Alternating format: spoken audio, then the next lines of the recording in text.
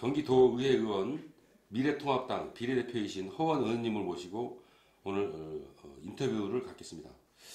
허원 의원님은 그 한경대학교를 졸업하시고 한경대학교 또 대학원까지 졸업하셨네요. 보니까 그 현재는 경기도 의회 그 경제노동위원회 위원으로 계시고 어, 한국노총 경기지역본부 상임, 상임이사 상임 고문으로 계시고 민주평통 이천시 협의회 자문위원 경기도 일자리재단 비상임이사 한국노총 경기지역본부 의장 전에 하셨네요.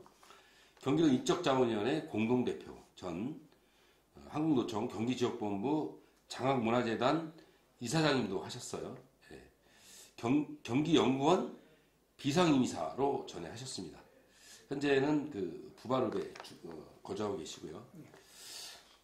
음, 의원님, 우리 이천 시민에게 인사말 한번 하시죠. 네. 안녕하세요. 경기도의원 허원입니다. 어, 먼저 이천 시민 여러분, 굉장히 어려운 이 코로나19 이 기간에 얼마나 그 고생이 많으십니까? 지금 그런 와중에도 지금 한익스프레스 화재로 인해서 더 그 힘든 거는 과정되는 것 같습니다. 한익스프레스 이 건도 깨끗이 빨리 마무리됐으면 하는 바람을 갖습니다. 어떤 코로나19 이 과정에서 지금 그 지역 경제가 굉장히 어려운 부분에서 그 지금 지역 재난 기금으로 인해서 조금 그 삶이 좀 나아질 수 있다라고 봤었는데 다시 또 이 코로나가 서울에서 많은 발생이 일어나는 바람에 다시 또 유치가 되는 것 같습니다. 우리 이천 시민 여러분 항상 화이팅 하시길 바라면서 그 인사에 대신하겠습니다. 감사합니다. 네. 의원님 그 어, 비례대표 의원으로서 그동안 이제 그 경기도 의회가 2년이 지났지 않습니까? 예. 네. 그래서 그동안 의원님이 2년 동안 경기도 의회를 어, 에 계시면서 그 상임이나 기타 의정 활동에 대해서 도정 활동에 대해서 좀뭐 어, 그동안 좀 이런 걸 내가 전체적으로 했다라든가 또는 뭐 좀 아쉬웠던 점뭐 그렇게 좀 그 두 가지 나눠서 좀 말씀을 해주시죠.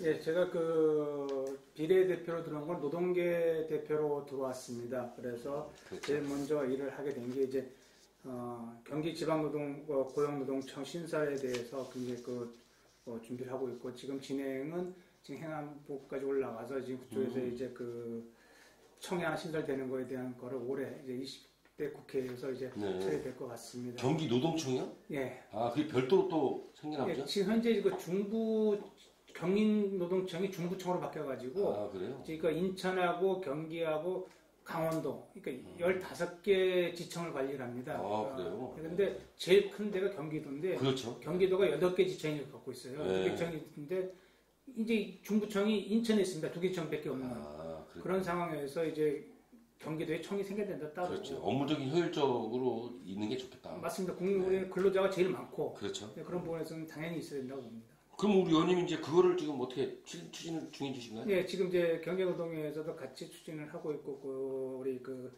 김장일 의원하고 같이 그 네.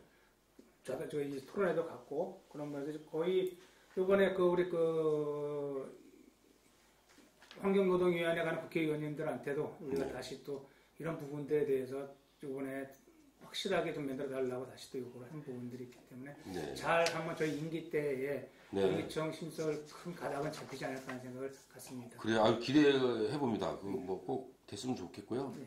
뭐좀 어, 우리 경제 노동위원회에 계시니까 그쪽에서 뭐 좀 그동안 의원님이 또뭐 어, 이건 말고 다른 게 좀 이렇게 뭐 의원 발의를 했다거나 또는 뭐 법이 좀 조례로 좀 바뀌었다거나 뭐 이런 게 좀 있을까요?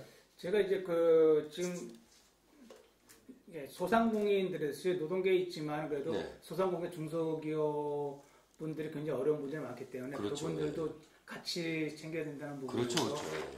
그 하고 있습니다. 그래서 소상공인 관련해 가지고 제가 그 조례를 대표 발의를 경기도 전통시장 및 상장과 육성을 위한 조례 일부 개정 조례안을 냈었고요. 네. 그다음에 경기도 소상공인 보호 및 지원에 관한 조례 일부 개정 조례안을 음, 냈습니다. 네. 그 부분에서 이 소상공인 연합회에서 어 열심히 했다고 이제 몸민사에도 네, 네. 조례 받았던 기억이 있습니다. 그런 부분에서 실제로 소상공인들이 굉장히 어려운 부분들이 있는데 이런 부분들 집중적으로 어떻게 지원을 해야 되는 부분과 그 전통시장 관련해서 그런 부분에서 또 지금 우리 경로위에서 굉장히 그 많은 감독을 하면서 그, 그 소상공인들 전통상인 분들한테 도움을 주도록 하는데 많은 노력을 하고 있습니다. 그래요. 아유 뭐 앞으로도 뭐 이제껏 그렇게 왔던 것처럼 앞으로 남은 임기 동안 그 의정 활동을 기대하겠습니다. 어, 고맙습니다. 열심히 그거 좀 아쉬운 건 뭐 없었나요? 좀 이렇게 좀 아쉽다 내가 아 이건 좀 도정에서 할때 뭐 아쉬운 건 혹시 있나요? 아쉬웠던 거. 아쉬웠다기 하기보기는 조금 이런 것 같습니다. 즉, 그, 제가 지금 미래통합당이 아주 국민들한테, 도민들한테 많은 그 심판을 받았기 때문에 굉장히 그 적은 조직으로 이제 그 일을 하다 보니까. 아 그렇죠. 네, 원내 교섭 단체가 안 되다 보니까 네. 일방적으로 좀 이 흘러가는 부분들에서 좀 아쉬운 분들이 좀게 있겠네요. 예, 그래서 좀 이제 더불어 분들한테 그 의원님들한테도 이게 좀 했지만은 그 그분들도 많은 그 배려는 한다 그러지만은 그 와중에도 많은 아쉬움이 굉장히 많습니다. 저희 같은 경우에는 이제 그렇겠군요. 예, 그런 게그 있겠군요. 이 더불어 의원님들은 입법보좌관들 입법인들이 이제 협치 국이 담당을 하고 있는데 네, 네. 저희 같은 경우는 한 명도 없는 부분들이거나 아, 그래서 그래요? 저희가 어. 입법 발의를 하려고 그러면 굉장히 어려움이 굉장히 많습니다. 어. 그래서 그런 아쉬움들을 이번 이제 하반기 상임위 때는 좀 제가 이제 그 운영위원회를 제가 들어가려고 더 들어가게 돼 있는 부분들이 네, 있는데 네. 아, 들어가서 좀 그런 부분에 대해서 그, 이 원내 교섭지 아니더라도 그래도 입할 수 있는 그 보조 사무원들을 좀 그 배정을 받을 수 있게끔 좀 노력을 한번 해보려고 합니다. 그래요. 그 우리 이천시에도 지금 성수혁 의원님하고 김인영 의원님이 계시지 않습니까? 예, 예. 뭐 두 분하고 세 분이 계신데 예. 그 현재 같이 계시는 의원님한테 좀 의원하고 같이 좀 잘해서 마음 맞춰서 하시면 될 것 같은데요. 그 굉장히 좋은데 문제는 이겁니다. 그 저희가 142명의 그 도의원인데요. 네. 실제로 상임위가 아니면 거의 얼굴 보기가 굉장히 어렵습니다. 그렇군요. 그리고 자기 그 상임위에서의 부분에 부분이지 그거를 오버해서 제가 이제 우리 그 김영 의원님 권교위나 우리 성수혁 의원님 용- 용정혜 의원님 쪽으로 그렇지. 가서 얘기는 건의는 우리 그 부분을 할 얘기는 할수 있겠지만은 음, 다른 이런 부분들은 위원회가 틀리니까 예, 안 되는 아, 부분들이 또 있습니다. 그런 한계가 있네요. 예, 그래서 그런 아쉬움이 좀 있습니다. 그래서 원내교섭단체가 안 되니까 그래도 그런 부분들 한다라면은 그 입법 부장들이 좀 도움된다 그러면 서로 하기가 좀 조민들이 좀 더 나은 봉사를 할수 있는 게 되죠. 하여튼 뭐 잘 되기를 바라겠습니다. 고맙습니다. 네네.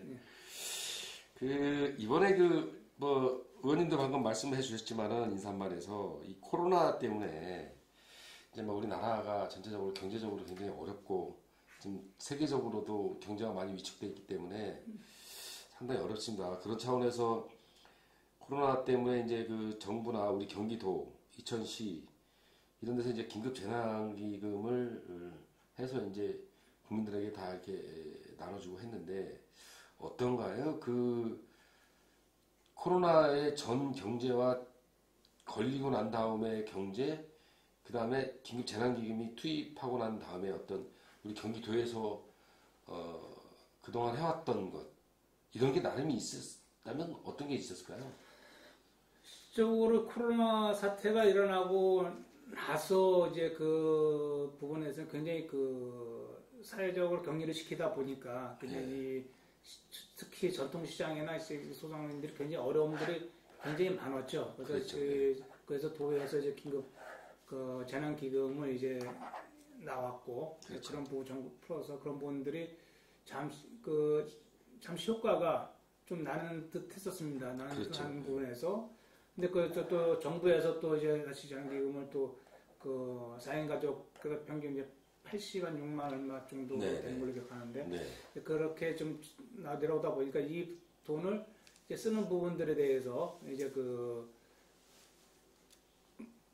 이 소비가 좀 많이 좀 이루어져 가지고 좀 음. 낮은 부분들이 있습니다. 그렇죠. 그런데도 굉장히 지- 현재 그래도 어려운 부분들이 많고요. 그 다음에 그렇겠죠. 문제는 재난기금 이런 부분을 쓸 수 있는 데가 한계가 있다 보니까 음. 예, 한정이 돼 있다 보니까 좀 그런 부분들. 이제 지역에서는 또 아쉬운 부분들이 있는데 왜냐면 그 여기서도 보니까 그 농협에서도 좀 사용 좀 하게끔 해달라고 하는데 네, 네. 실제 농협이 10억 이상 매출 이상 되는 부분이 안 되는 그렇죠. 데만 근데 저로 그 어려운 쪽 이거 농협 아니면 쓸 수 없는 데 거니까 저기 작은 소도시 그러니까 율면이나 뭐 저기 예, 설성 이런 쪽의 분들은 쓸 만한 데가 그렇게 많지는 않다는 얘기죠. 나오기 힘들죠. 예, 하려면 밖으로 나와야 되는 부분들이 있어가지고 그런 부분들은 좀 특별히 좀 이렇게 바꿀 수 있는 부분이 없는가 이런 고민을 저희도 그 상임위에다가 얘기를 했었는데 네. 상임위에서는 그렇다면 이게 그 누군 해주고 누군 안 해주고 이런 부분들이 발생하다 보니까 일괄적으로 하게 되니까 음. 어렵습니다라고 받아가지고 음. 좀 아쉬움이 있습니다. 이런 부분들 좀. 같이 풀어서 같이 할 수 있는 부분들이 나왔으면 좋겠다는 생각 가졌었는데 어쨌든 이 재난기금이 우리 그 도민들의 삶에 많은 도움이 된 건 사실입니다. 그리고 네, 그렇죠. 좀더 뭐 된다라 하면은 여유가 된다라면 그 현재 그 좀 이 코로나가 19가 좀 안정될 때까지는 어느 정도의 지원은 그 소상공인들부터 시작해서 네. 이 전통시장 그리고 또 우리 시민들한테 좀 또 한 번 정도는 더 지원이 되는 게좀 낫지 않겠는 생각도 갖게 봅니다. 그렇죠. 좋죠. 네. 주민들한테는. 그 얼마 전에 그 이재명 도지사님이 그 뭐 한 두 번은 뭐 더 줘야 더 줘야 되지 않느냐 뭔데 의회에서 혹시 뭐 그 우리 경기 도민위에서 뭐 예산을 뭐 더 준다거나 뭐 이런 논의가 지금 되고 있습니까? 지금 아직은 논의된 건 없고요. 네. 제가 알기로는 그래서 그 도지사께서 이제 그 의지신 것 같습니다. 네. 현재 그 의회가 뭐 일당과 이렇게 그, 그 의회가 같은 뭐라 그럴까 이제 더불어 당에서 저 같이 주도를 하고 계시니까 네, 그러니까 그렇죠. 이제 지사께서 원하는 안이 있다면 거의 되지 않을까 하는 생각을 갖습니다. 그렇죠. 이제 뭐 다수가 더불어민주당이다 보니까 예, 뭐 이재명 시장, 시장님 도지사님도 더불어고요. 예, 예. 뭐 될 가망성이 있겠네요. 네, 가능성 이 있다고 봅니다. 그래요. 어, 이건 좀, 그, 지난 그 선거 관련에 대해서 좀 잠깐 여쭤보겠는데요. 예, 뭐, 우리 의원님한테만 여쭤보는 게 아니라 각 공이 지금 의원님들한테 다 여쭤보고 인터뷰하면서 예, 예. 그 지난번에 이제 우리 송석진 의원님이 이제 에, 당선이 되셔서 예, 예. 재선에 이제 성공하셨습니다. 그래서 어, 지금 요즘에 엊그저께도 그 합동 분향소의 그 상임위가 또 네. 우리 그때 의원님도 예, 계-. 예, 그래서 예. 어, 어떻습니까? 이 선거 결과에 대해서 우리 이 의원님이 보시는 그 시각은 어떠신가요? 저 먼저 그 2000, 그 시민 여러분한테부터 우리 송석준 의원의 재선에 힘을 실으신 것에 대해서 너무 감사를 드리고요. 네. 그 송석준 의원의 재선에, 그러니까 2000에 그 재선 의원이 너무 그 없었던 그런 부분에서 그렇죠. 재선의 그 열망도 강하지 않았느냐 생각 같습니다. 그래서 그만큼 재선의 무게가 힘이 굉장히 그 무겁다라고 보고요. 그래서 또 송영께서 재선이 됐으니까 이제 그2000 시민들한테 약속했던 네. 그 공약. 공약들을 네. 그 하나하나 챙기면서 지켜야 되는 부분들이 있을 거라고 생각합니다. 그래서 제일 어려운 부분이 이제 뭐 규제 개혁이 제일 어려운 그렇겠죠. 부분인 것 같습니다. 그래서 제가 송영한 송영한테 얘기한 부분들이 지금 이제 벌써 이- 지금 시나 네. 시에서 맨날 2000 시민이 23만이라고 하는데 네. 실적 21만 5천에서 머무른 지가 벌써 10년이 넘었다. 아, 그렇군요. 네. 그렇다면 이거는 인구를 늘, 그 늘리려는 방법이 뭐냐?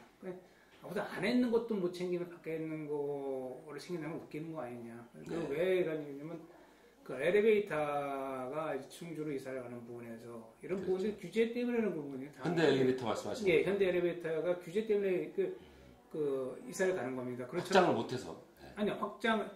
거기서 이제 이사를 나와서 그 다른 공장을 이전을 하게 되면요. 네. 거기서 확장은 가능합니다. 근데 네. 이전을 하게 되면은 그 이 폐수 때문에 이게 안 되는 거예요. 규제계 규제 있기 있기 때문에. 근데 웃기는 거죠.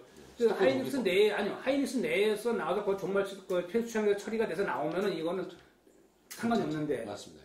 따로 나와서 폐수처리 져가지고 하는 거는 불법이 잘못 유법이다 그러면 안 되는 게 말이 안 되는 그렇죠. 거잖아요. 이런 부분들을 우선적으로 특별법이든지 어쨌든 그 하이닉스도 특별법으로 풀었듯이 네. 이런 것도 시, 시나 국회에서 특별법으로라도 이거는 풀어서 국- 아니 내 집에 있는 우리 이 지역에 있는 그 제조 공장들 대기업들이 네. 떠나지는 않기를 해야 되는 게 맞다. 이제 좀 그런 아쉬운 점이죠. 예 그런 게 좀 아쉬운 건데 그런 거에 대해서 신경을 써달라라고 얘기를 했고 그다음에 네. 뭐 송영께서 하시는 말씀은 저기 뭐 대학병원 얘기를 하시는데 네. 또 그런 부분들이 많- 아니 대학병원 대학을 유치 대학 유치죠. 아, 산후제 유치, 대학. 예 유치 부분을 이게 그런 부분이 마- 그 된다라면 진짜 뭐 많은 그 시가 발전이 될 거라고 그럼요. 봅니다. 그래서 하나 하나 그 공약을 그 해결하는 부분에서 옆에서 지켜보면서 같이 그송 의원께서 그 할 수 있도록 음. 같이 하겠습니다. 그래요. 우리 의원님이 그 송현님 그 선거 때도 그 뭐 동참을 하셨겠지만 예, 나름 어떻게 좀 선거운동 하셨나요? 의원님도 좀 같이 예, 좀 했죠. 열심히 뭐 어떻게 좀 들어가셨나요? 저는 뭐이 노동계 출신이다 보니까 실제로 아. 제가 이제 그 여기를 현대전자에 80년 1월 달에 입사를 하면서 이사를 받으러 왔습니다. 아, 그랬군요. 예, 그래서 현대전자에서 98년도에 현대전자 어, 묻어나면서 이제 분사된 스테드 집회 코리아 네, 그렇죠. 예, 거기 초대 이제 위원장을 하고 아, 예. 예, 그 노동계 쪽에다가 지금 수원에서 이제 지금 한명종 경제본부장, 그다음에 장학회 이사장 이렇게 한 부분들이기 때문에 네, 네. 여기 그 이천 지역 지부도 저희 소관 조직인 부분들이기 때문에 그렇죠. 이 조직에서도 그또 저하고 생각 같이 하는 또 대표자들이 있는 부분들이 그렇죠. 때문에 그런 예. 부분들 하고 좀 운동을 같이 했던 부분들이 있습니다. 그래요. 어쨌든 뭐 어, 의원님이 열심히 또 하셨기 때문에 또 우리 송석주 의원님이 당선되지 않았나 이렇게 보고 있습니다. 아유 고맙습니다. 그 경기도 의회 이제 후반기가 이제 2년 정도 남았는데요. 예 예. 우리 의원님이 그 경기도 우리 이천시를 위해서 나머지 후반기에 그 의정 활동, 도정 활동에 대해서 좀 어떤 걸 이렇게 좀 중점적으로 보고 좀 하실 건가요? 제가 이제 하반기에도 이 경제노동위원회 있을 겁니다. 아 계속 예예. 왜냐면 제 노동계를 비례로 왔기 때문에 그리고 그렇죠. 그 기본적인 거는 이제 노동 쪽을 챙기지만은 노동과 관련된 그 전통시장과 소상공인과 중, 중소기업 분들을 그 네, 돕기 위해서 네. 그런 부분들에서 하나하나 이제 지금 저번에도 이제 전통시장 이런 부분에서 뭐 그, 이 남천공원 뭐 주차장 만드는 부분부터 음, 시작해서 그다음에 그이 이번에 코로나 19로 인해서 저 도에서 특별적으로 해가지고 그 장공원 시장에 그 환경 개선 사업을 해가지고 그때 그 사업 구청에서 170개 상가가를 저희 그 지원 나간 부분들이 네. 있습니다. 그런 부분식도 어쨌든 2010에 그 소상공인의 전투센터를 활성화를 위해서 네, 좀 많은 그 노력을 해서 진짜 그 빚이 그래도 야 그래도 그 친구가 도에서 우리 이천시의 그 전통상인과 소상인들을 위해서 열심히 했다는 얘기 듣고 싶습니다. 아 그래요. 네. 음, 그 장원도 그렇고 우리 여기 저 이천의 시 시내에 거기 그 제, 전통시장도 그렇고 예.